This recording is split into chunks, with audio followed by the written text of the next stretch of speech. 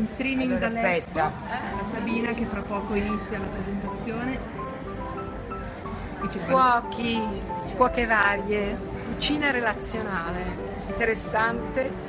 Andate alla Libreria delle Donne, via Vincenzo Calvi 29 Milano. Pietro e- Calvi. Pietro Calvi.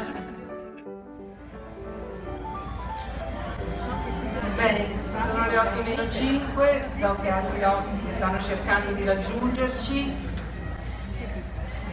Questa sala è piena, cosa che succede di rado qui, quindi mi sembra che sia un omaggio importante alla libreria delle donne. Vedete, si sente? Non si sente nulla? Adesso si sente. La libreria delle donne, la libreria delle donne vedete che abbiamo una, una- una- una vignetta eh, di Paccarra seguita poi da una battuta carina che dice non disturbate la libraia perché la libraia sta leggendo. Questo già ci dà la misura della, della stranezza di queste libraie e dell'importanza di questo luogo storico che spero diventi poi nei prossimi anni un patrimonio comune delle donne milanesi.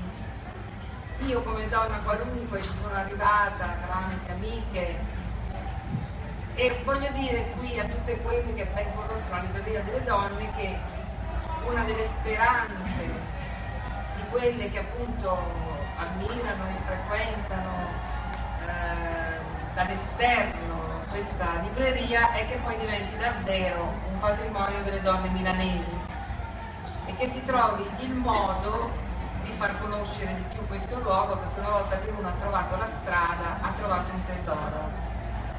Ci, da- ci siamo adesso rivolte alle giovani ragazze che si occupano della comunicazione, degli eventi culturali che si svolgono in Cascina e le abbiamo sorprese raccontandogli che nel loro bar, proprio in quei minuti mentre loro erano lì ignare, stazionavano alcune fra le donne più importanti di Milano.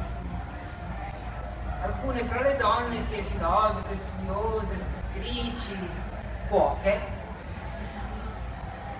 sono parte integrante di un patrimonio culturale che deve continuare ad esistere e soprattutto deve, a mio parere, diventare un po' un, eh, così, un contributo anche per le giovani.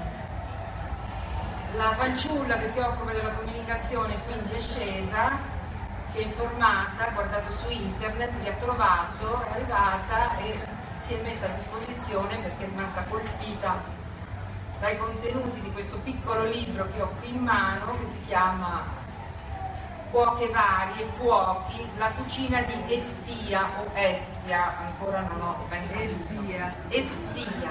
Tutte e due vanno bene, dice la Luisa Muraro, appunto una di quelle signore di cui parlavo prima. Allora, ehm, naturalmente sappiamo tutti quello che è stato Expo e penso che qui in questo luogo così defilato ci possiamo permettere di dire che forse il grande contenuto, nutrire il pianeta che riguarda così da vicino le donne, non è poi stato valorizzato così come si era sperato, ma comunque possiamo accontentarci.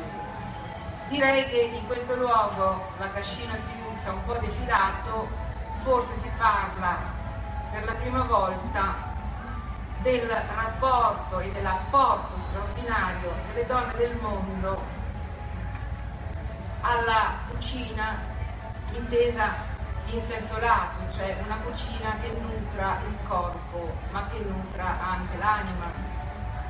La cucina relazionale, così viene chiamata dalle nostre cuoche, che sono tra l'altro presenti qua e che io spero più tardi ci possano raccontare delle cose.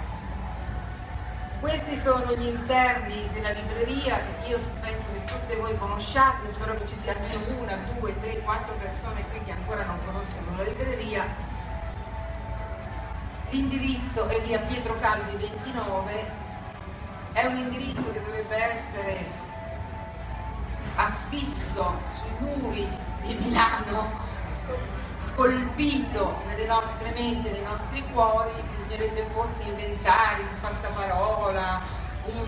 qualcosa di particolare perché molte donne hanno bisogno, straordinario bisogno a Milano di questo nutrimento, a Milano e nel mondo, ma parliamo di questa Milano dove voi lavorate.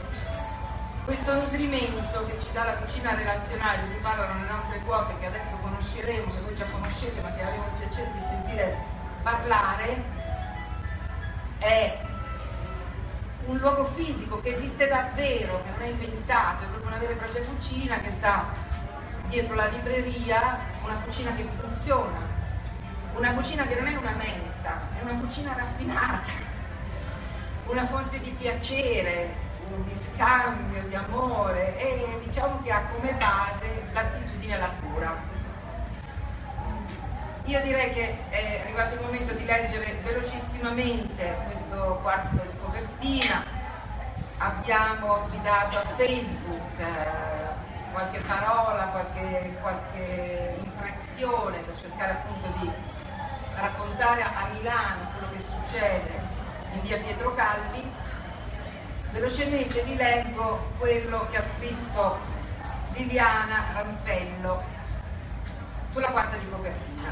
Un quaderno dall'apparenza modesta che si rivela alla lettura uno scrigno di sorprese, un baule pieno di tesori. Sorprende chi l'ha scritto. Rossella Bertolazzi, Ottavia Colabella, Ida Farè, Stefania Giannotti, Clelia Pallotta e Anna Maria Rigoni donne molto diverse fra loro per età, professione, inclinazioni, legate da un piacere, un vizio, una passione, una mania, una fissazione comune, cucinare.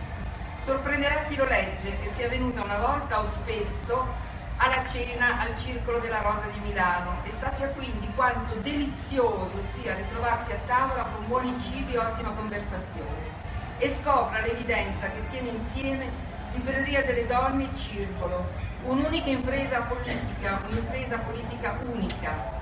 E se chi legge non è mai venuta o venuto, speriamo si senta già invitata e venga a pensare, amare, dormire e cenare bene con noi.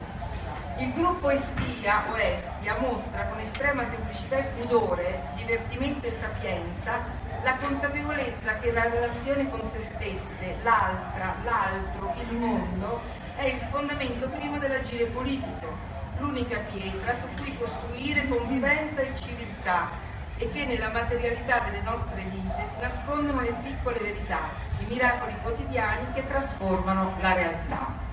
Queste sono le parole scritte da Lilli, posso chiamarti Lilli, a cui adesso cederò il microfono, chiedendole di farci una, un breve racconto che ci introduca nell'argomento. Ma più che altro farò un breve racconto del perché eh, ho pensato che questo libro fosse necessario, non solo per chi lo scriveva, ma per tutti noi che lo avremmo letto, e anche un brevissimo racconto di quanto sia complesso lavorare con delle cuoche varie, perché ognuna di loro è lunatica a modo suo, prepotente a modo suo, scrive bene a modo suo e poi ha però anche una grande consapevolezza di quello che sta facendo nel momento in cui cucina al Circolo della Rosa. Allora, il libro era tanto tempo che avevo in mente che era, era abbastanza assurdo avere in questa cucina eh, 5-6 donne importanti, intelligenti, molto brave come cuoche, ma anche molto brave nelle loro singole professioni, molto forti nelle loro passioni lavorative. E eh, lasciare in qualche modo che quel cantuccio che si erano eh, in qualche modo ritagliate per la loro politica, è quella di cucinare, rimanesse senza parole scritte, no? senza una, una, possibilità di rimanere per tutte e per tutti in secula seculorum, perché i libri questo fanno, no? rendono molto più lunga la vita delle cose.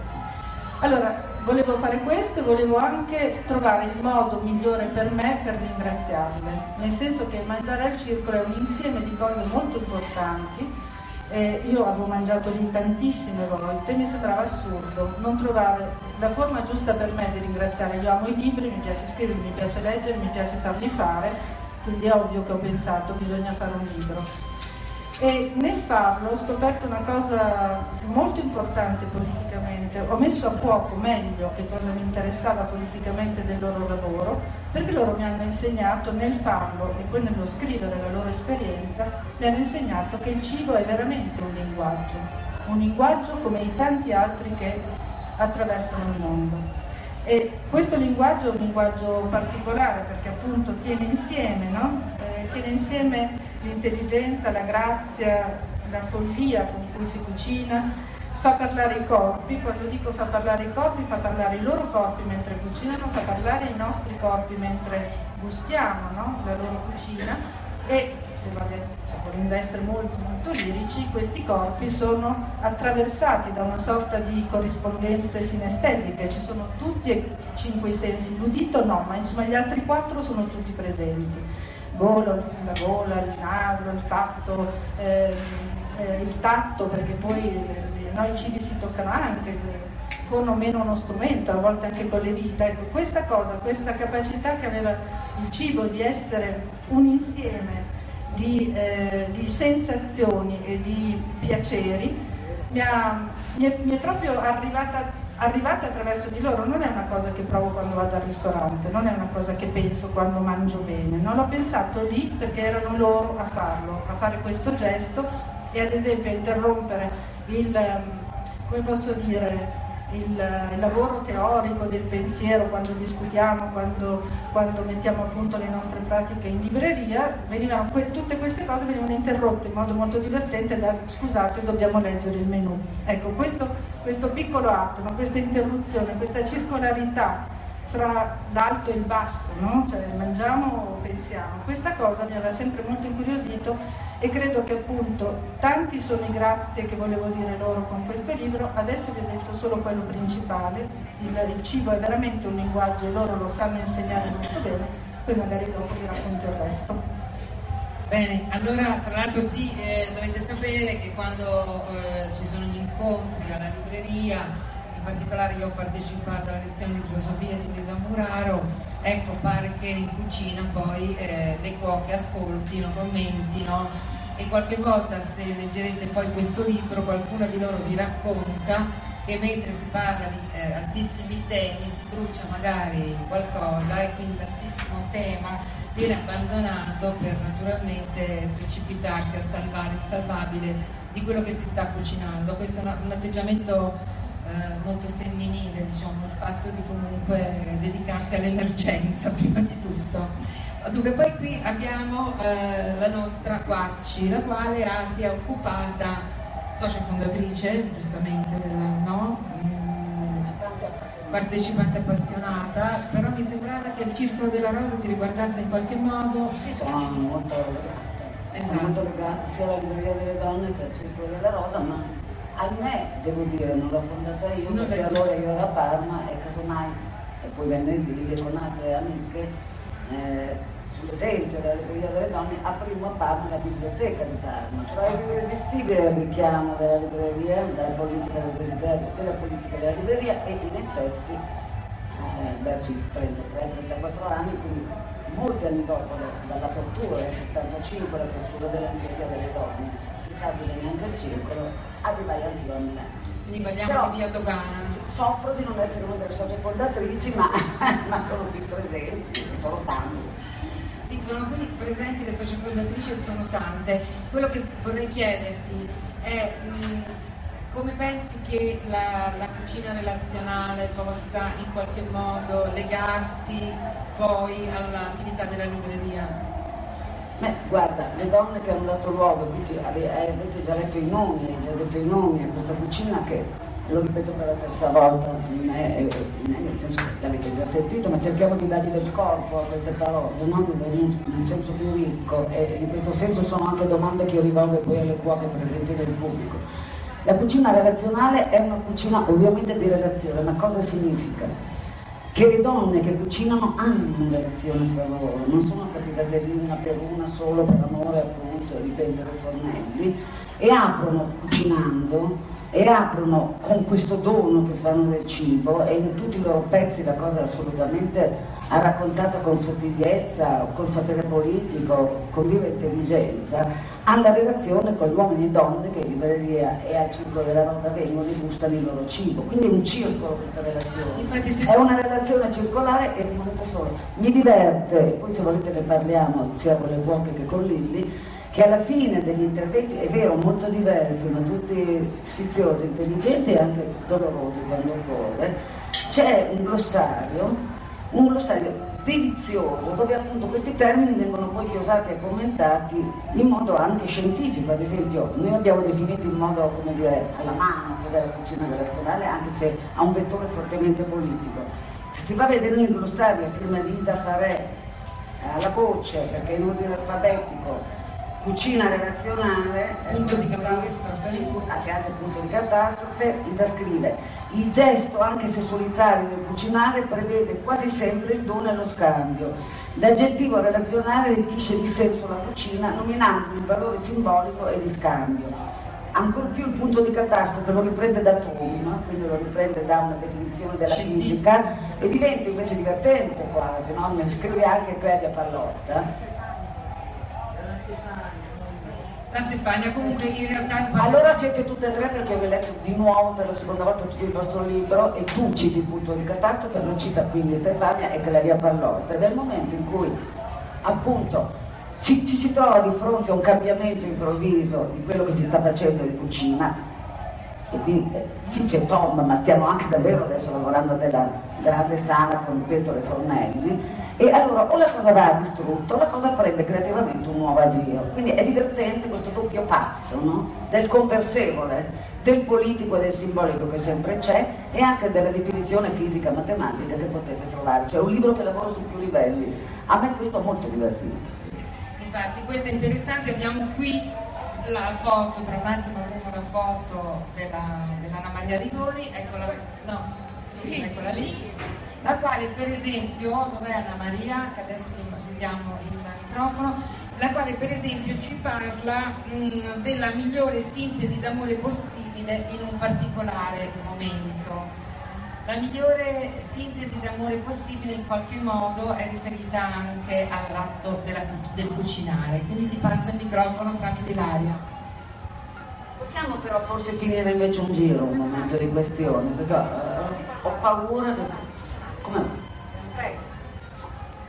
Beh, eh, in questo caso è una relazione tra me che cucino e le altre che mangerò, che in certi momenti ehm, diciamo è una situazione di amore più ricca, più affettiva, in altri momenti magari ci possono essere delle tensioni, delle incomprensioni e queste incomprensioni si possono tradurre per esempio in un cibo che non è come io lo voglio in quel momento lì, però so che in quel momento lì è comunque la migliore sintesi d'amore possibile. E la migliore cuoca possibile ha un parallelo, un'assonanza con la migliore madre possibile?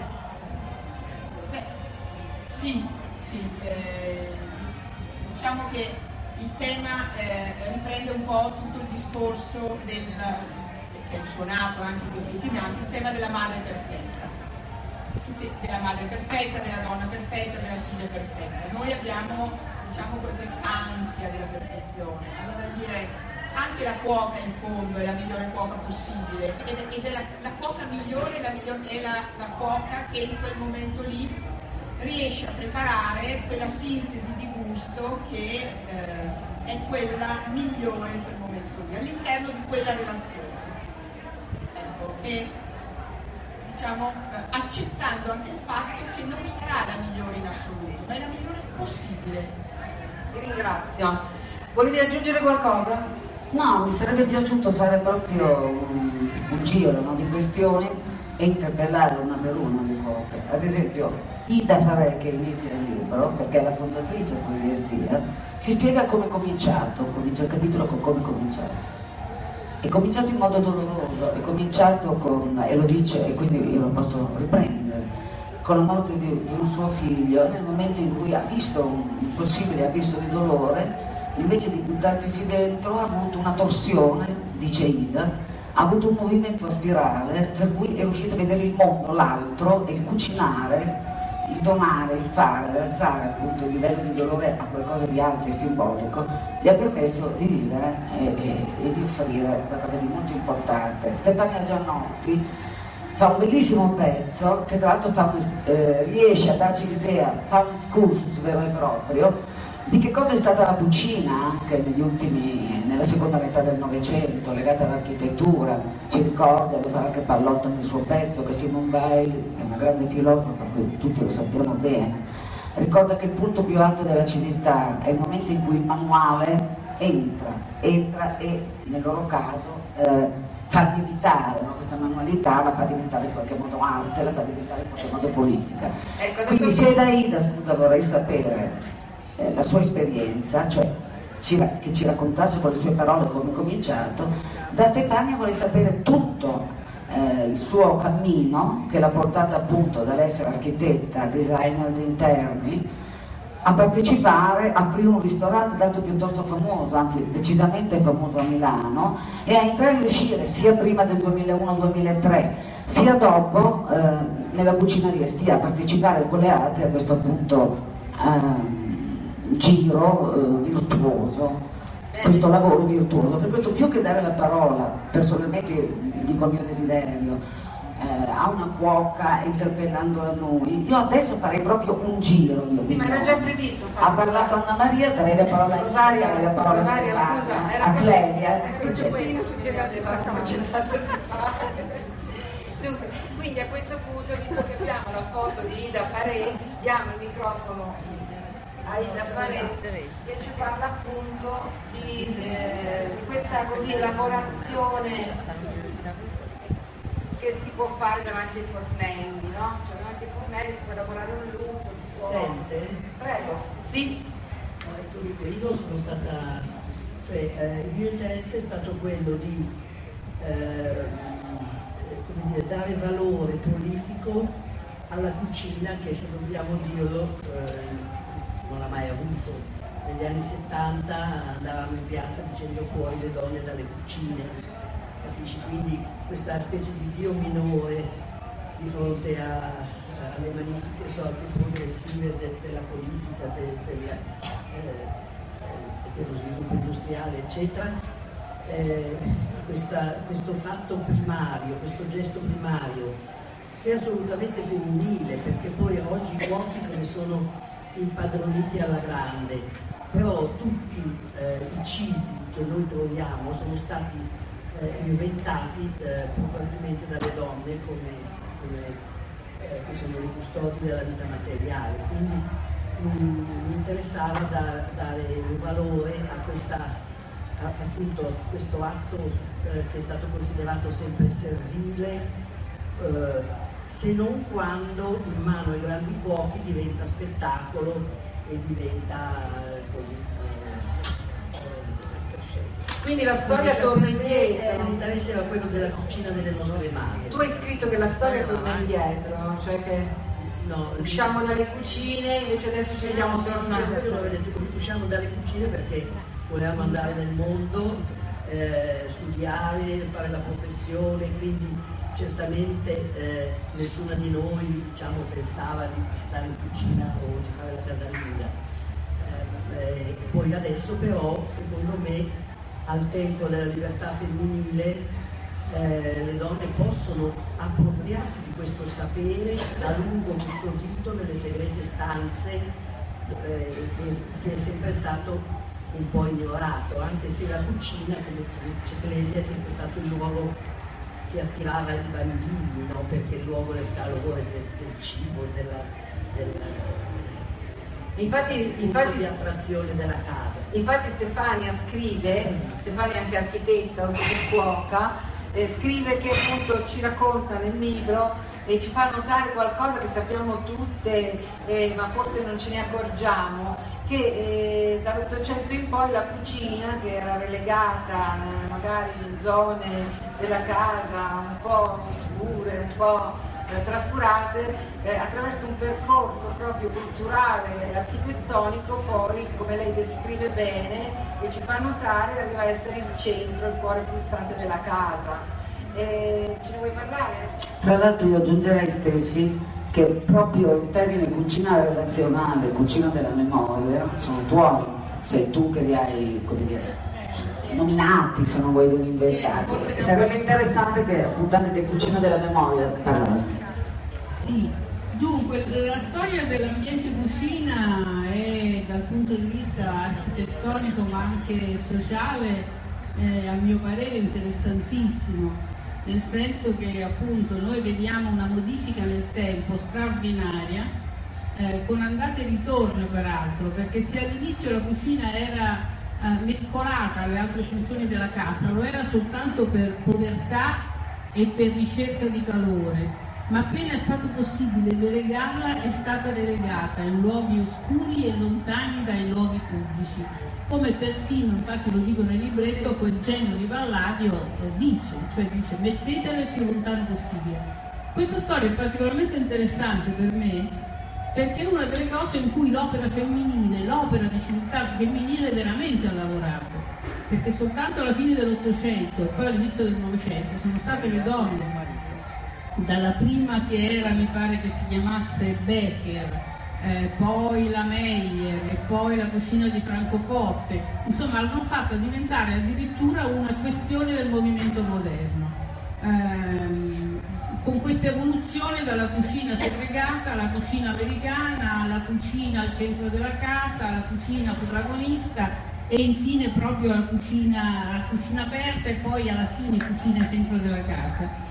Um, quindi io ci tengo molto a sottolineare questa opera femminile, ci tengo a sottolinearlo ancora più eh, che nel far cucina, cioè è sicuramente vero che il far cucina ha un patrimonio mm, di memoria e di tradizione fortemente femminile. Eh, ciò non toglie che, ad esempio, io sono una di quelle che dice che gli uomini sono giustamente entrati a pieno diritto, ho quasi quasi ho stima dei grandi chef, anche perché i grandi chef eh, non è vero che eh, rinnegano la memoria e no, rinnegano l'insegnamento materno. Per dirne uno, Bottura che è il secondo del mondo, il secondo del mondo il primo in Italia, parte proprio da sua madre.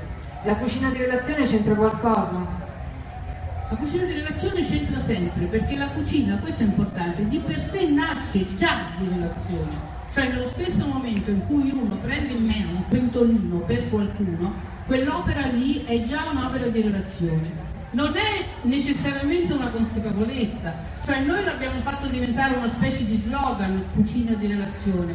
Che cosa abbiamo voluto significare? Prima di tutto la vicinanza a una politica di relazione, a una pratica di relazione che è quella della libreria delle donne. E poi abbiamo voluto significare l'importanza, cioè abbiamo voluto mh, significarne un salto rispetto al puro fatto di nutrimento eh, o al puro fatto di cura. Non per sminuire questi, ma perché la relazione ci sembra che eh, alzi il tono in qualche modo, cioè lo faccia diventare un dono e gli dia eh, ehm, quell'importanza a cui abbiamo avuto il, disegno, il bisogno di scriverla.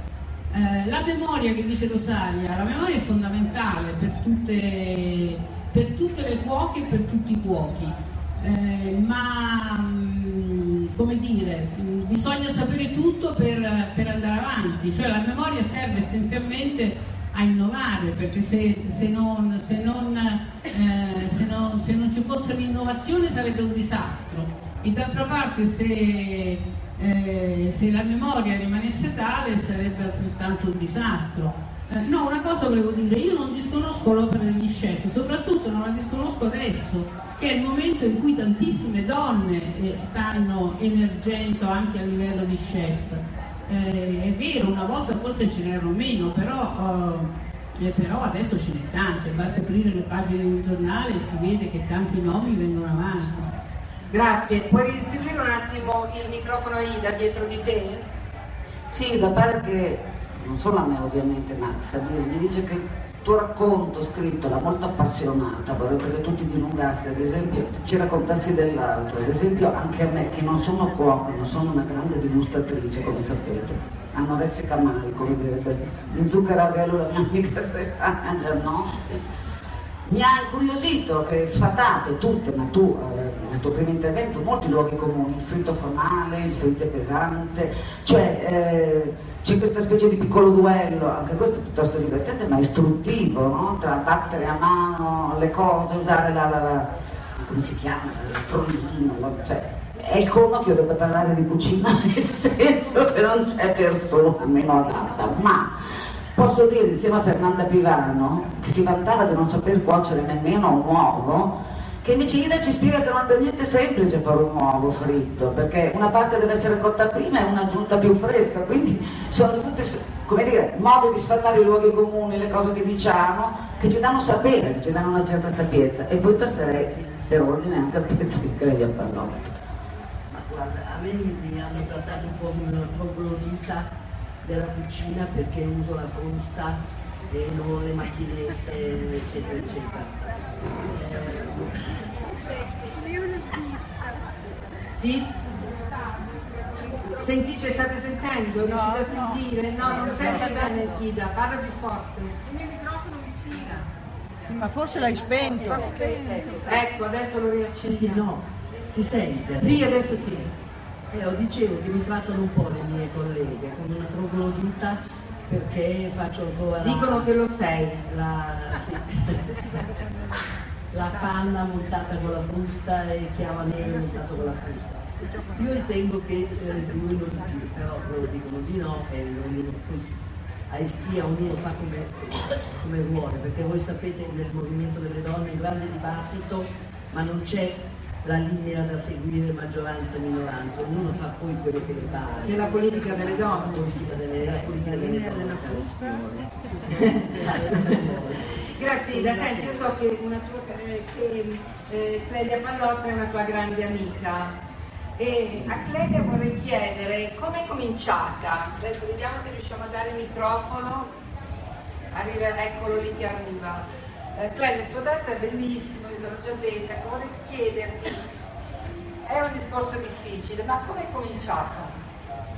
Beh, l'ho scritto, è cominciata perché Ida aveva, aveva voglia di fare questa cosa e io sono andata dietro per, per sostenerla e siccome mi piace cucinare, non è stato neanche, voglio bene a lei, mi piace cucinare, è stato facilissimo, cioè mi è costata nessuna fatica. In più questa cosa veniva fatta nel luogo a cui io do una grandissima autorità e importanza nella mia vita, che è la Libreria delle Donne e il Circolo della Rosa, per cui è stato quasi naturale. Ecco, autorevole e servizievole, sono due parole che tu metti insieme.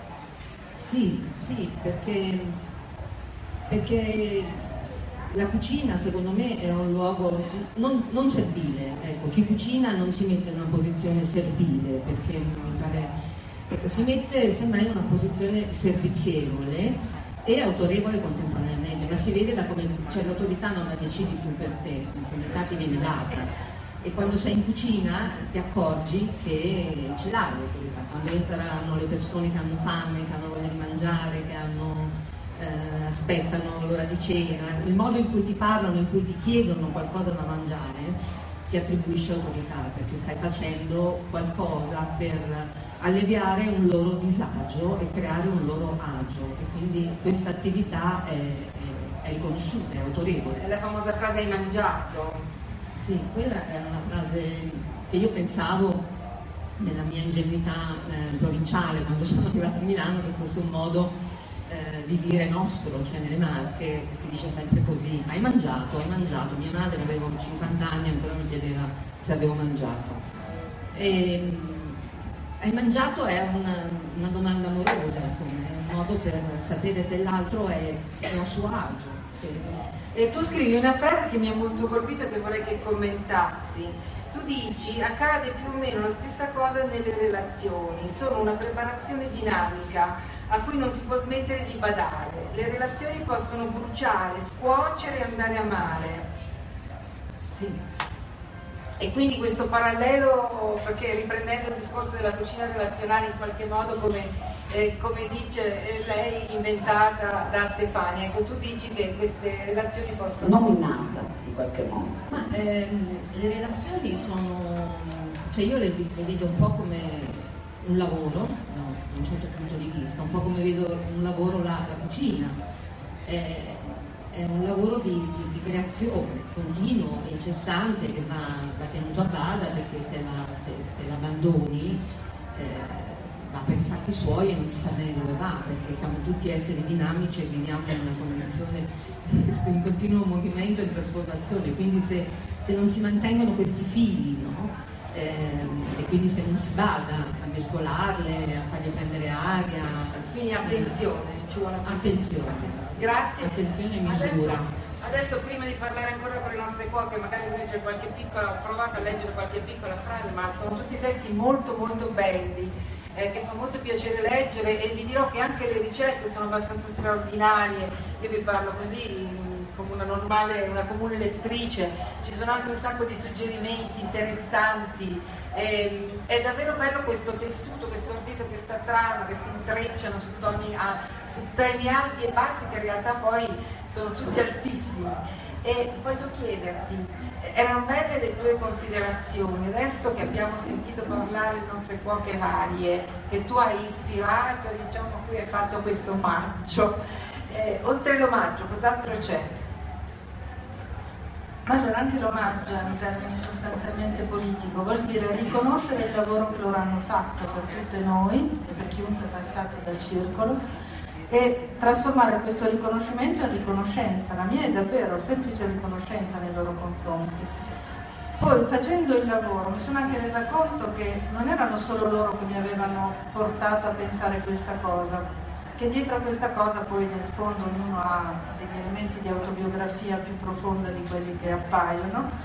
Io ho ripensato a quanto avevo amato, perché è un libro che ho amato veramente a fondo, al faro di Virginia Woolf. No, Mrs. Dalloway non fa niente, Mrs. Dalloway fa una cena e in quel modo la Woolf inventa come dire, intanto la grandezza del gesto quotidiano femminile non eroico, inventa una nuova protagonista il Novecento e io ho ritrovato evidentemente, poi per fili strani che terminano in modo anche inconsapevole, ho ritrovato che era questo che io volevo tirare fuori da loro, perché mi sembrava questo, questa la cosa più importante che loro fanno, che anche semplicemente mettendo a tavola delle persone si costruisce quel miracolo quotidiano che per me è fondamentale perché è nella bellezza della quotidianità che io, io riesco a riconoscere, intuire, forse ad amare il sacro. Non mi capita in altri, in altri momenti, in altri livelli. Mi capita con la natura e fra gli umani mi capita nella quotidianità.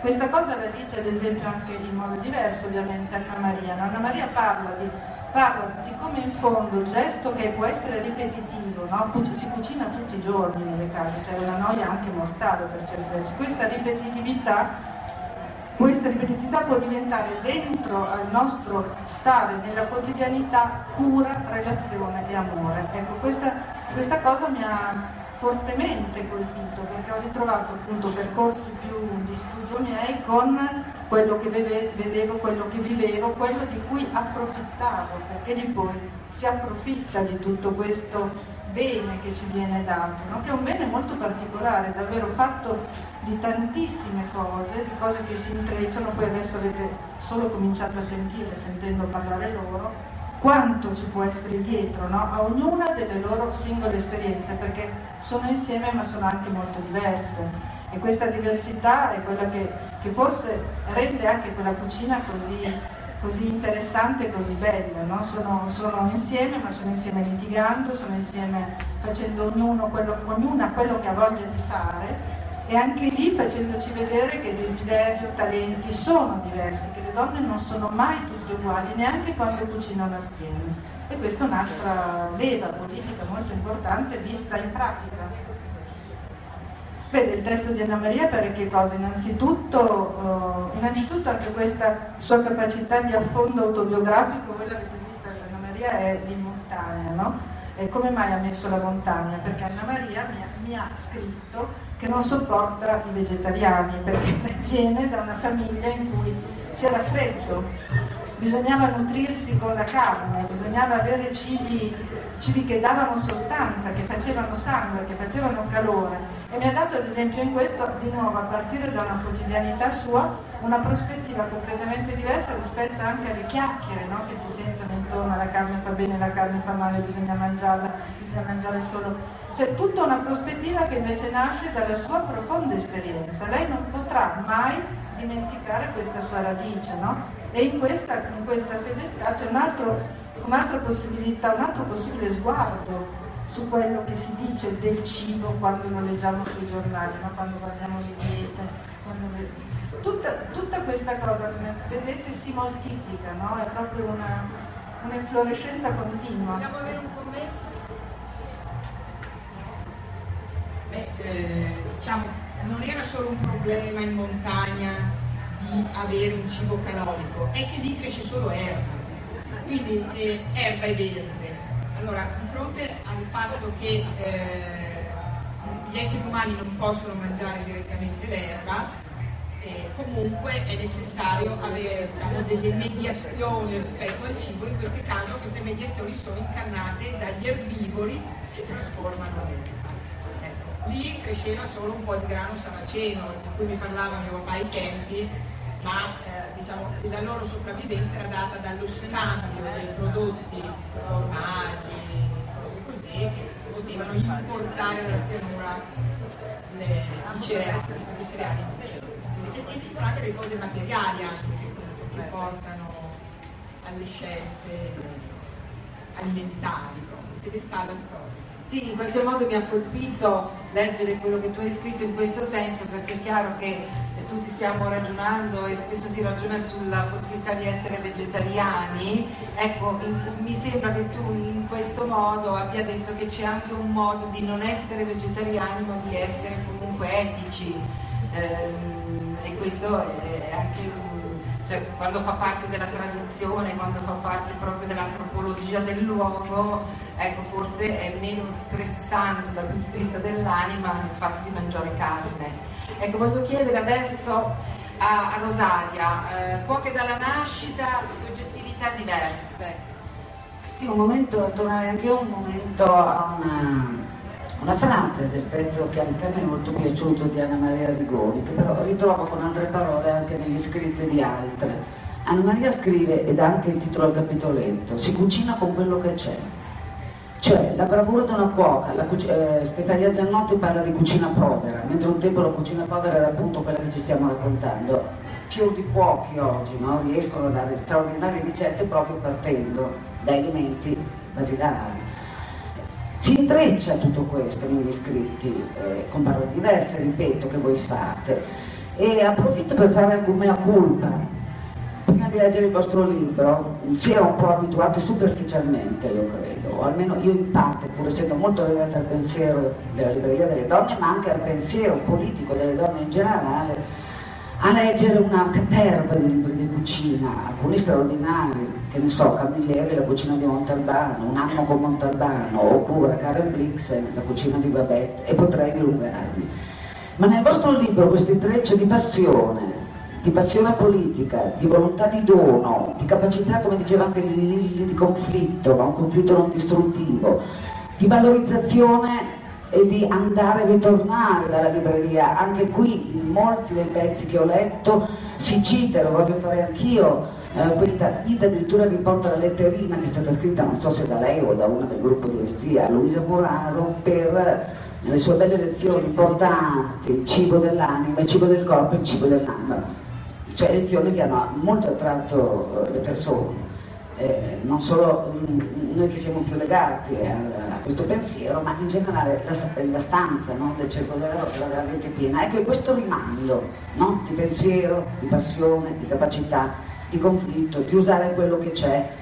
Stefania forse aggiunge anche particolari più ricchi, no? fa un excursus sulla cucina che lei conosce, avendo avuto appunto un ristorante, quasi avendo studiato, mi verrebbe da dire, quindi sui grandi cuochi ma è questo circolo virtuoso, come l'ho chiamato prima, che rende questo libro interessante spiazzante rispetto a un sapere banale che io riconosco comune, no? perché in qualche modo legge la letteratura che io sapevo di avere.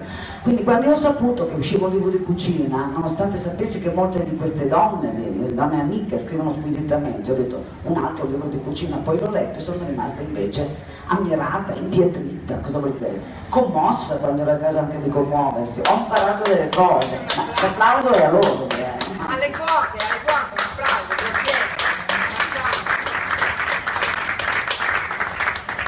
Beh, una dichiarazione d'amore proprio e ci voleva. E a proposito di questo ho notato anch'io alcune nei testi, alcune descrizioni delle commensali, no? quindi dei loro capricci, eh, delle loro pretese, del fatto che magari uno è lì e, e dimentica per un attimo questa riconoscenza che si deve alle cuoche e quindi fa richieste particolari, protesta, non c'è abbastanza da mangiare, non si riesce a fare la spesa giusta, insomma ci sono tutta una serie di notazioni molto interessanti che in qualche modo ci illuminano anche eh, sulle nostre difficoltà relazionali fra donna e donna. E mi sono sorpresa anch'io, insomma faceva caldo, eh, ed è stato molto divertente eh, trovare in questi testi eh, queste, così, queste, questi piccoli ammonimenti e capire anche con quanta tolleranza poi queste cuoche considerano le loro avventrici e avventori. Eh, una cosa che volevo chiedere a Stefania sul suo testo, molto bello, eh, Stefania, oltre a parlarci di sé, a parlarci della cucina relazionale e a darci delle ricette, degli spunti, e così a dare qualche lezione proprio di vita, eh, ha fatto anche cosa secondo me interessantissima, cioè consiglia e descrive una serie di libri che non so se dire rari o speciali. E quindi io volevo chiedere adesso a, a Stefania se voleva parlarci di qualcuno di questi libri, ecco io per esempio sono molto tentata del suo scaffare tra le pentole, sempre questo legame che torna tra cucina e libri, non tutti e lo fa anche lei, eh? ci sono due bellissimi cuoche ribelli ci sono due bellissimi consigli di lettura che danno in particolare. Infatti, subito dopo ti passo la parola. No, no, no. Cuochi ribelli, no, interessante. Cuochi ribelli e anche la cucina napoletana, per esempio, che tra l'altro sono in libreria, si sì, possono vendere.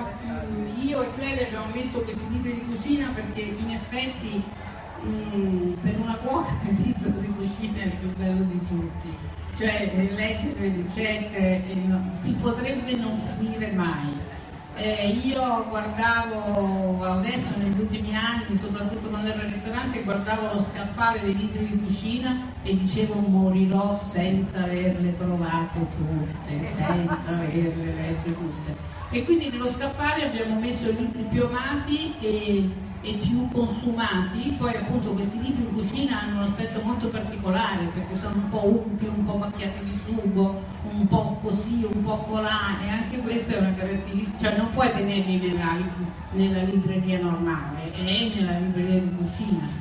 E in particolare i libri che abbiamo citato, quelli che avevamo in libreria, li abbiamo portati anche qua perché alcuni sono effettivamente eccezionali. La cucina napoletana è un testo sacro a mio parere perché veramente è l'origine della cucina del sud e riprende tutta la storia da Ippolito Cavalcanti in avanti eh, ed è molto bello, vivamente consigliato. Poi ci sono dei libri più spiritosi come ad esempio Cuoche ribelli su cui avevamo fatto un lavoro insieme a Ida Farella, avevamo anche presentati in una serata insieme ad altri temi eh, Quadribelli sono tre, tre, cuoche molto diverse una dall'altra, eh, due rivoluzionarie, eh, una in particolare ricordo una frase che mi era molto piaciuta che diciamo che fa, va bene per Estia, eh, che parla di queste guerra, lotta rivoluzionaria, morti e feriti e poi dice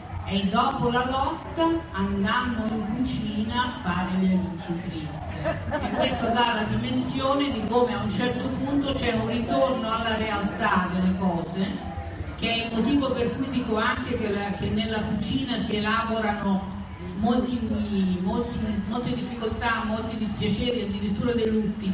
Eh, perché la cucina ha questa forza straordinaria, uno che ti, ti lascia un attimo, materiale e mentale, perché intanto che cucini devi pensare, quindi ti assorbe completamente. Se c'è il problema che il marito l'ha lasciato, in quel momento non te ne potrebbe importare di meno. E poi soprattutto io dico che ti, ti, ti fa anche da medicina per dolori molto più grandi, eh, perché ti riporta alla realtà, cioè è un modo per ritornare alla realtà.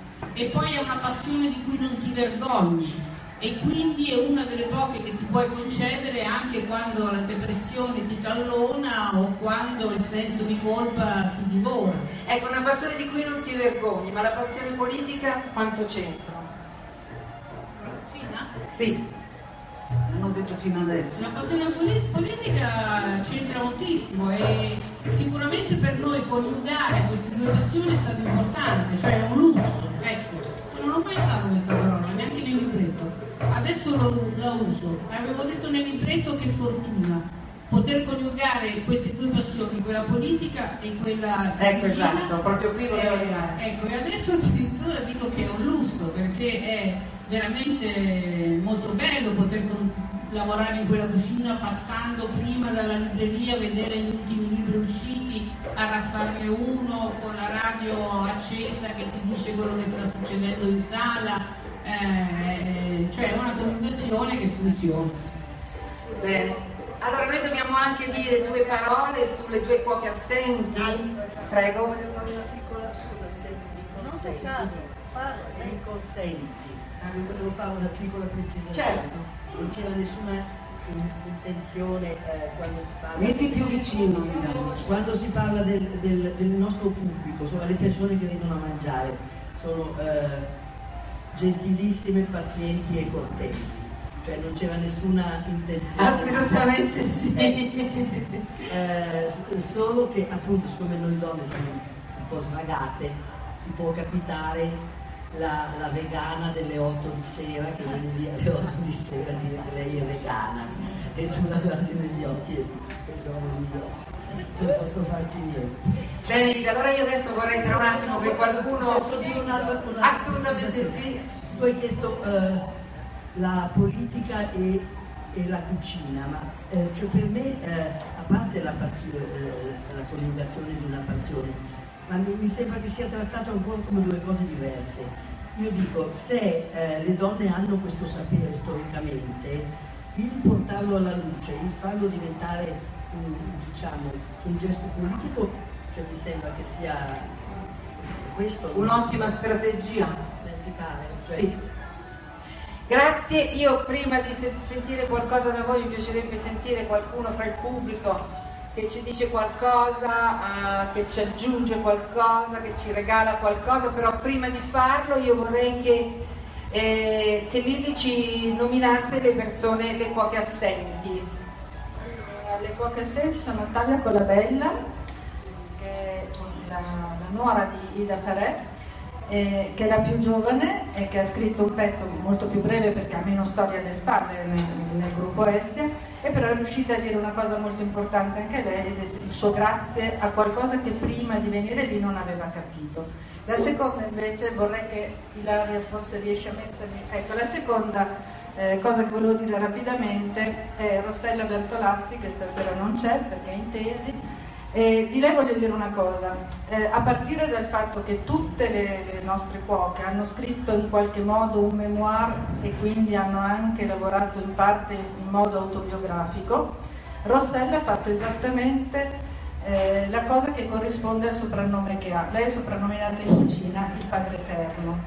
Ma anche chiamatemi bimbi. Chiamatemi bimbi perché taglia, spezzetta, sminuzza la velocità della, della luce, sempre seduta, immobile eh, e da lì, come dire, governa la cucina e tutte quelle che sono lì.